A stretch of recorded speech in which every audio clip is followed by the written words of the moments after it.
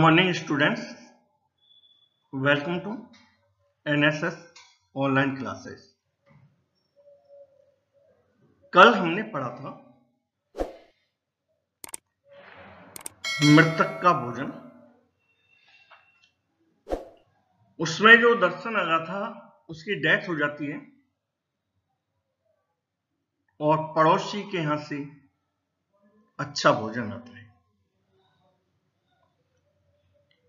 आज इस स्टोरी में एक नया मोड़ आएगा, जिसमें कि जो दर्शन आगा की पत्नी है, वह बहुत बेचैन रहती है कि बच्चों को किस प्रकार खिलाया जाए या लालन पालन किस प्रकार किया जाए। कई दिनों में उनके यहाँ कोई भोजन नहीं आता है। और उनके यहाँ जो रखा हुआ खाद्य पदार्थ है, अथवा खाने की सामग्री है, वो सारी समाप्त हो जाती है। तो वह अपने बेटे को एक पंसारी की दुकान पर भेजती है कि उससे उधार सामान लिया लेकिन पंसारी उससे उधार सामान नहीं देता है। उसके बाद बहुत ही घटनाएँ होती हैं। आज हम पढ़ते हैं कल की कहानी से आगे। सी केम इनसाइड, वह अंदर आई, but did not dare dare में साहस से हिम्मत। Looked into the fevered eyes of her son. Fever means begged. Waiting hopefully, hopefully Asha But did not dare look into the fevered eyes of her sons, waiting hopefully. परंतु आशा पूर्वक इंतज़ार कर रही अपने बेटों की व्यग्र आँखों में नहीं देख सकी। या आँखों में आँखें नहीं मिला सकी। Not a word was spoken in the room कमरे में एक भी शब्द नहीं बोला गया। The boy simply look at her empty hand लड़कों ने बस उसके खाली हाथों को देखा। And turn their eyes away और अपनी नज़रें अथवा आँखें it was a long time later that the younger boy broke the silence काफ़ी देर बाद छोटे लड़के ने शांति या खामोशी को तोड़ा।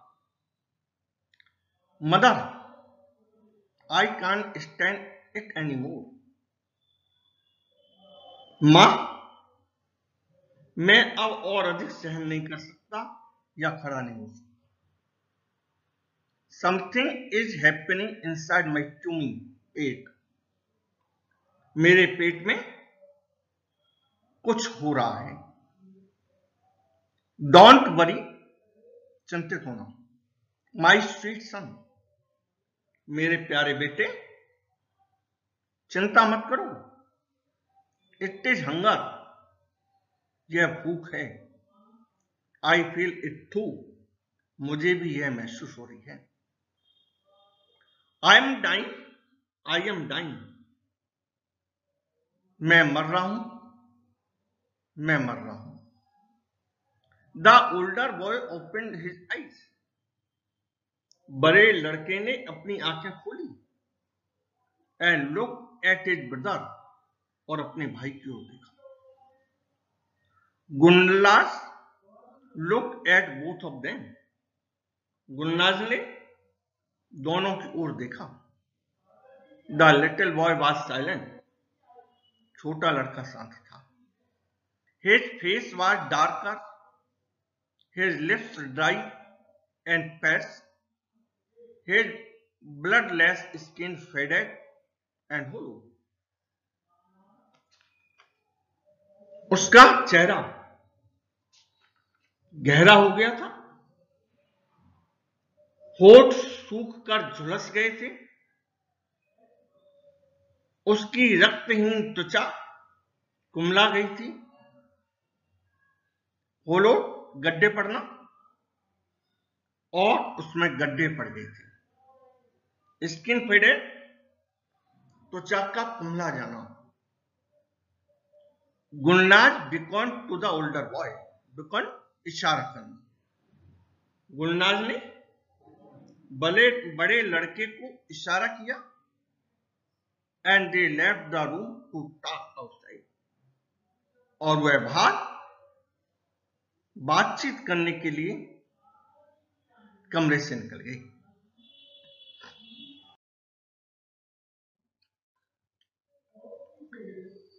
We must go to Bodos, the grocer. हमें बोडो पंसारी के पास जाना होगा। We must ask for some rice flour and potatoes हम उससे कुछ चावल आटा और आलू मांग सकते हैं। Tell him we will pay him in a few days उससे कहना, हम कुछ ही दिनों में उनको पैसे दे देंगे अथवा उनका भुगतान कर देंगे। The boy savvy coat was not heavy enough to keep out the cold outside. लड़के का जगह जैसे, जगह से फटा हुआ कोट बाहर की ठंड को दूर करने के लिए हैवी या भारी नहीं था। He had no strength in his legs उसकी टांगों में शक्ति नहीं थी। And had to steady himself against the wall और wall, walk as he walk.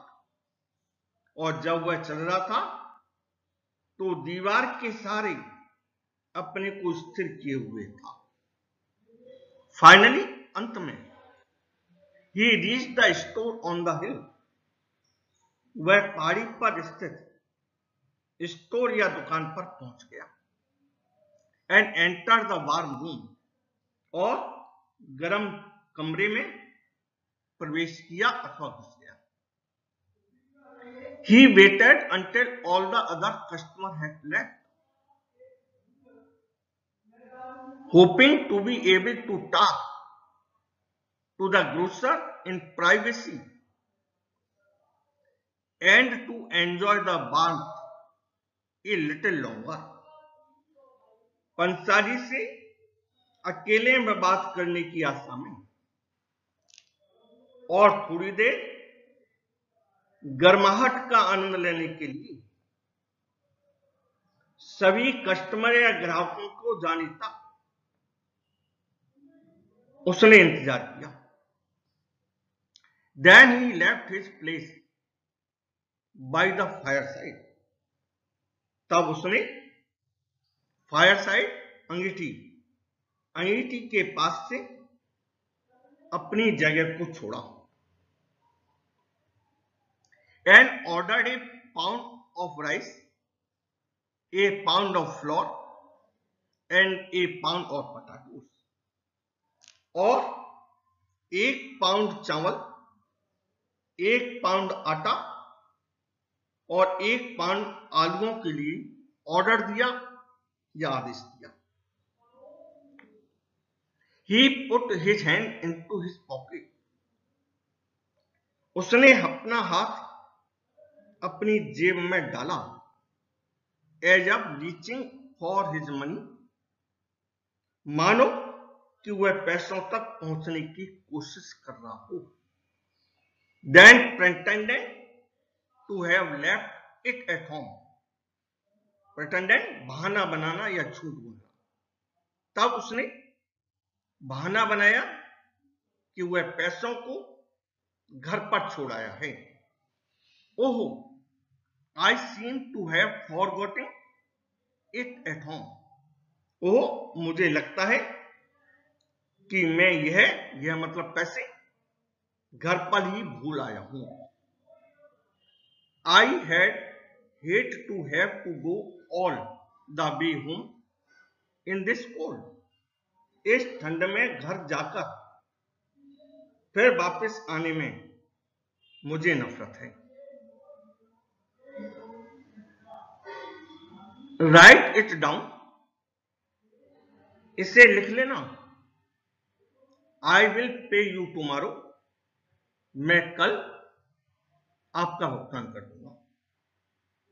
It was a brave effort यह एक साहसिक प्रयास या प्रयत्न था।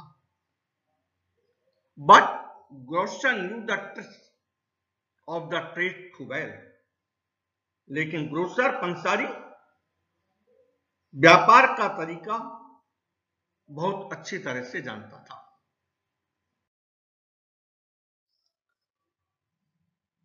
फ़र्स्ट ब्रिंग द मनी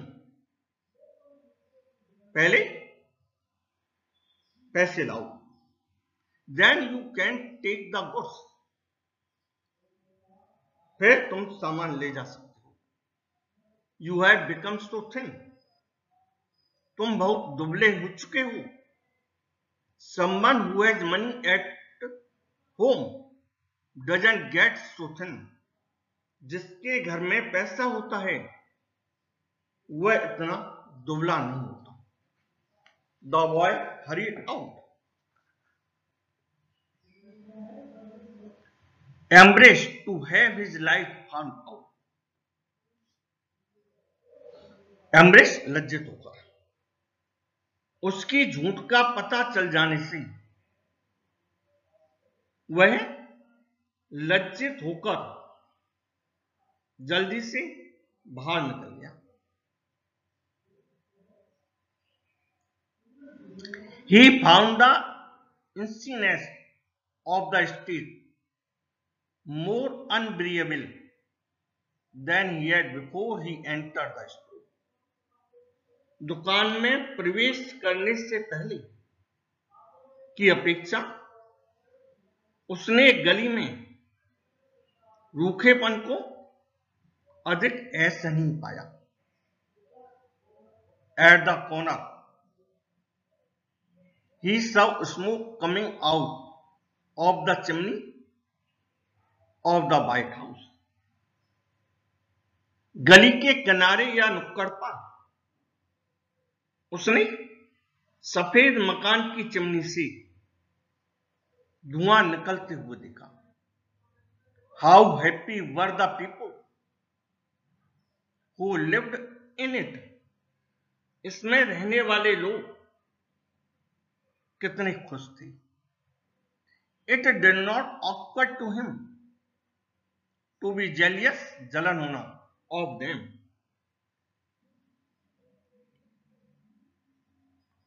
उसको उनसे जलन या ईर्ष्या नहीं हुई ही हैड ओनली एडमाइरेशन प्रशंसा करना these people who had given him the best meal of his life. उसने तो बस उन लोगों की प्रशंसा की या बड़ाई की जिन्होंने उसे उसके जीवन का सबसे अच्छा भोजन दिया था he walk home as fast as he could. His teeth chattering, chattering, कटकटाते हुए टीथ दांत दांत कटकटाते हुए जितना तेज़ी से संभव था, वह घर की ओर चला। How happy were the people who sorry there was no need to say anything. To his mother and brother. अपनी माँ तथा भाई को उसे कुछ कहने की आवश्यकता नहीं हुई। His empty hands told their own story. उसके खाली हाथों ने स्वयं ही अपनी कहानी बता दी He took off his clothes and went to his bed. उसने अपने कपड़े उतारे और अपने पलंग तक गया When he spoke, जब वह बोला ही सेड उसने कहा I am cold I am cold मुझे ठंड लग रही है, मुझे ठंड लग रही है. द ब्लैंकेट रोज कंबल उठाया and fair on it trembling body और अपने कांपते हुए शरीर के ऊपर उसे गिरा दिया। टेम्बलिंग कांपते हुए। Gulnaz piled on him. Whatever he could find. Gulnaz को जो कुछ भी मिला, उसने बड़े लड़के के ऊपर ढेर लगा दिया। पाइल मीन्स ढेर लगा the trembling lasted for nearly two hours कब कपी लगभग दो घंटे तक रही। देन केम द फीवर तब बुखार आया एंड द एग्जॉशन और थकावट हो गई। The boy lay on his bed motionless his eyes staring vacantly लड़का पीठ के बल निश्चल पड़ा, उसकी आँखें शून्य में ताक रही थी, या नहा देख रही थी। Gulnaz lifted the covers and tried to cool the burning body wither cool है। गुलनाज ने ढकने की चादर को हटाया तथा उसके तपते शरीर को अपने ठंडे हाथों से शीतलता प्रदान करने की कोशिश की।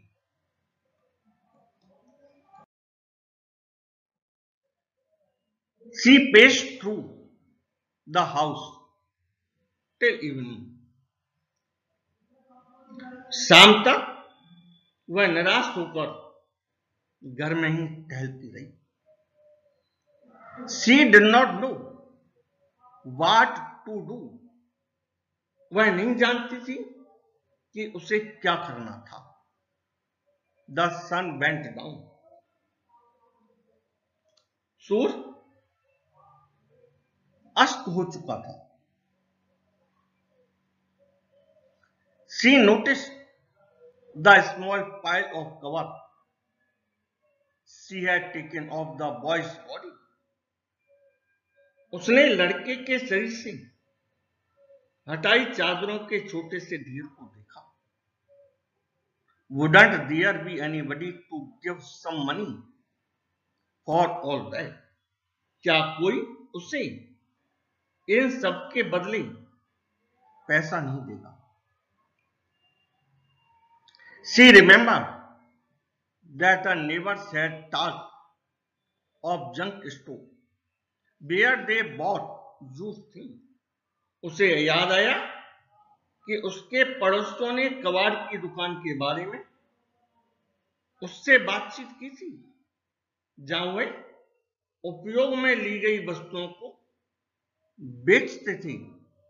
But it must be close लेकिन यह अब तक बंद हो जानी चाहिए थी। She would have to wait till the morning उसे सुबह तक का इंतज़ार करना पड़ेगा। With his decision came peace of mind इस निर्णय से उसके दिमाग में शांति आई। She stop pacing and sat down by her side वह पेसिंग में टहलना उसने टहलना बंद कर दिया तथा अपने बेटे के पास बैठ गई। The boy's fever increase increase वृद्धि होना या बढ़ना। लड़के का बुखार बढ़ गया। सी सेट स्टारिंग मोशनलेस वह गतहीन अवस्था में मोशनलेस गतहीन अवस्था में नज़रें गड़ाई हुई, बैठी रही। The younger boy could not sleep for hunger छोटा लड़का भूख के कारण नहीं सो सका। He too his eye open वह भी अपनी आँखें खोलकर देख रहा था। The sick boy moan slowly tossed and turn in his fever बीमार लड़का जरा सा करहा मॉन मीन्स कराना। थोड़ा सा कराया बुखार में टॉस्ट में उछला एंड टर्न हिज फीवर बुखार में उछला और उसने बुखार में करवट ली। हे चीक बार बर्निंग उसके गाल तप रहे थे। एंड ही टाग इन दिलीदम और वह दिलीदम कप कपाती आवाज़ में। वह कप कपी में ले रहा था। The younger one sat up in his bed छोटा बेटा अपने बिस्तर पर बैठ गया and asked in a voice audible only to mother और ऐसी आवाज़ में बोला जो केवल उसकी माँ को ही सुनाई दे ऑडियोबिल सुनाई देना मदर माँ बिल माई ब्रदर डाई क्या मेरा भाई मर जाए? शी शार वह काँप गई as if touch by cold wind on her skin मानो कि इसके शरीर को ठंडी हवा ने छू लिया हो। She look at her son with frightened eye वह फ्राइड में भयभीत आई नजरा। उसने भयभीत नज़रों से अपने बेटे की ओर देखा। Why do you ask that तुम ऐसा क्यों कहते हो? The boy was silent for a moment लड़का एक क्षण के लिए शांत रहा। Then he lean close to her ear and said softly फिर उसके कान के निकट झुककर, अपनी माँ के कान के निकट पहुंचकर या झुककर। बहुत ही धीमी आवाज़ में कहा trying to hide his voice from his brother वह कोशिश कर रहा था अपनी आवाज़ को छुपाने की, अपने भाई से। Because then food will come from the white house बहुत ही अच्छी बात। क्योंकि यह बहुत दुखांत कहानी है। क्योंकि सफ़ेद मकान से हमारे लिए भोजन आ जाएगा।